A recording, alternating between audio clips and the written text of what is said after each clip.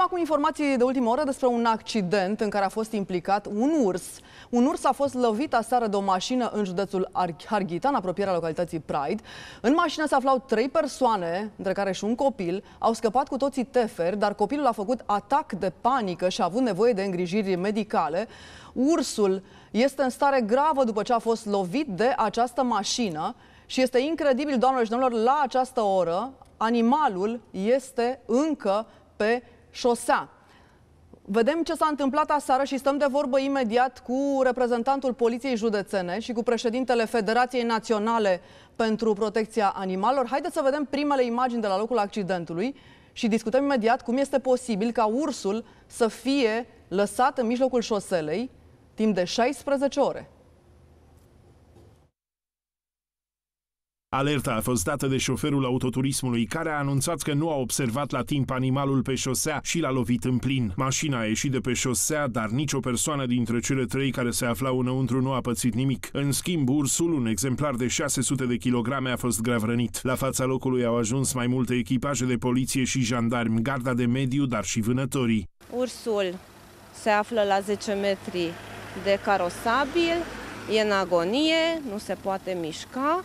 Așteptăm uh, medicul veterinar să uh, ne spună care este starea lui. Pentru localnici, apariția urșilor este ceva obișnuit și accidentele de acest fel s-au înmulțit în ultima vreme. Foarte mult și Sovata non-stop este alertă, vine prin mesaje și acolo în stațiune între oameni se plimbă urșii, fiecare lună, aproape două, trei luni, este ori accident și aici s-a întâmplat cu o mașină. Șansele ca ursul să trăiască sunt mici. A fost anunțat ministerul uh, în funcție de starea lui, uh, dacă poate fi transportat uh, în centru de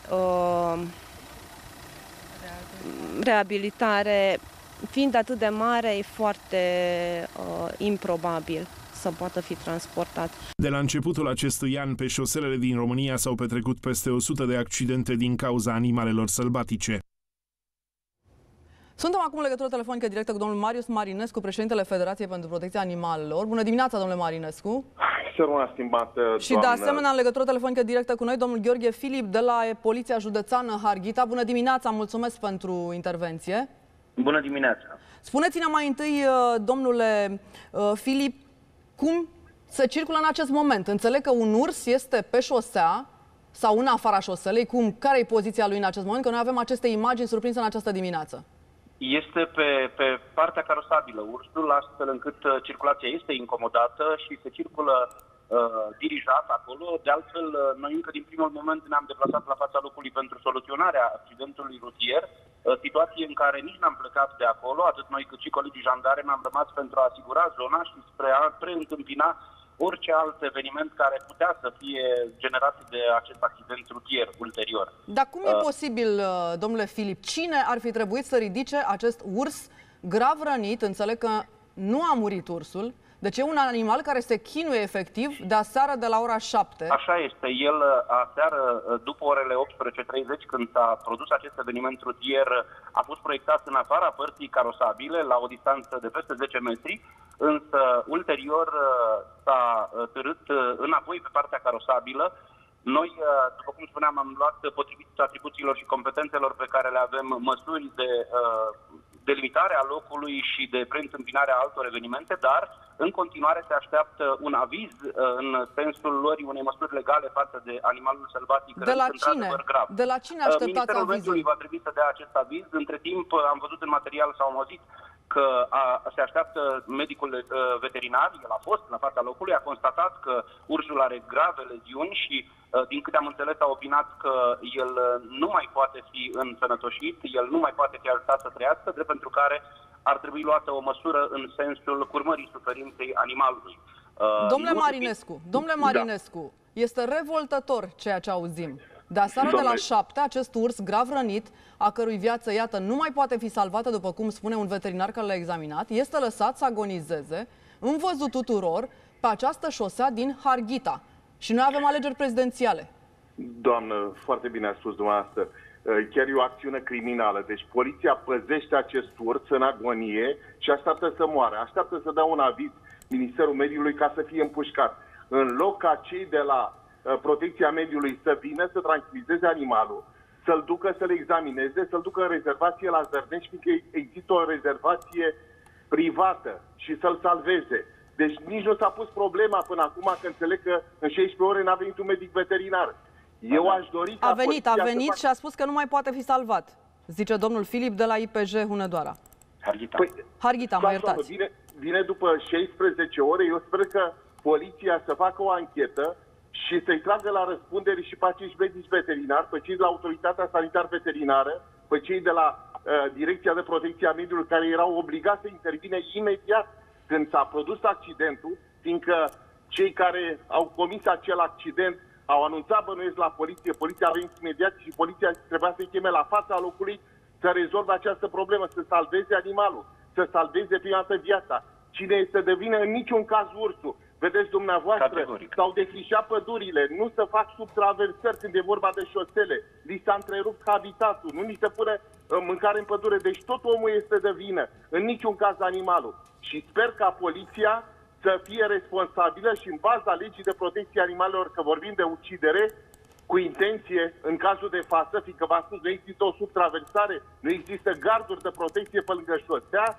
să-i tragă la răspundere pe cei vinovați și să se rezolve o dată uh, definitiv această situație. Dacă aveam o poliție animalelor înființată în cadrul Ministerului de Interne, exact după model american, acum poliția animalelor salva acest animal, fiindcă intervenea imediat și cu anchetă penală, dar și pentru salvarea animalelor. Am făcut nenumărate demersuri pe lângă fostul guvern. Am fost la domnul Tony Greblă, secretar general al guvernului. M-a rugat să-i fac un, un act normativ, o propunere de act normativ să vizeze poliția animalelor și doamna Dăncilă n-a fost de acord. Acum Că nu avem un vrea- nou ministru la mediu, trebui să Costel facă, Alexe da. se numește, îl contactează colegii mei din regie chiar Sigur. acum.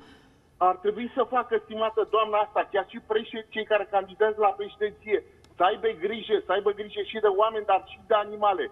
Gradul de civilizație a unui stat îl vezi și după modul în care guvernanții respectă dreptul animalelor și la noi nu se respectă absolut de, deloc.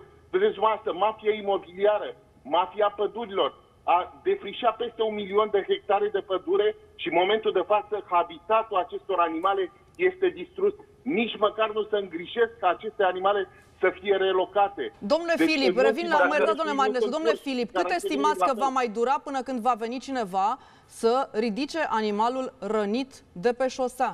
Repet, stă de 16 Vreau să ore vă acolo. spun următorul lucru. Vă Noi rog. suntem pregătiți nu doar să formăm suferința animalului așa cum uh, sau să se întâmple acest lucru, ci și să-l ajutăm în sens în care la fața locului avem un utilaj de tip volă pregătit să ridice animalul în condițiile în care acesta va fi tranquilizat și uh, în continuare uh, urmăm și această, sau mă rog, luăm în calcul uh, toate pistele legale Domnul posibile. comandant, ce ați făcut până acum în 16 ore, domnule? Ce ați făcut în 16 ore? Dacă era un om în, în accidentat, îl lăsați 16 ore, că nu putea să ridicați, că n-avea Nu. ce să vine să intervină? În Deci aceste cum puteți 16 să ore, spuneți stimate față domnule, că 15 vă asigur- ore, domnule. Din aceste 16 ore vă asigur că noi am făcut tot ceea ce ține de competența și de atribuțiile noastre. Poliția română Le-ați deschis dosar penal celor care nu au venit la în fața cauza, locului în și erau cauza s-a obligați înregistrat încă de aseară un dosar penal, să știți. Mai departe, care va fi încadrarea juridică în acest dosar penal?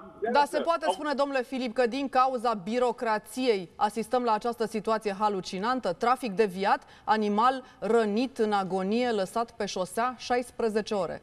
Da, este, este o situație, și după opinia mea, inadmisibilă, doar nu, nu mă pot antepronunța eu cu privire la faptele Mulțumesc. care au fost săvârșite în Mulțumesc. acest caz. Așteptăm o primă reacție de la noul ministru Evident. al mediului, Costel Alexe. În momentul în care răspunde, vom reveni cu reacția ce e de făcut și ce e de corectat la legislație, dacă legea e uh, strâmbă, pentru a nu mai asista la astfel de incidente. Mulțumesc foarte mult, domnilor. Mergem mai departe. Revenim la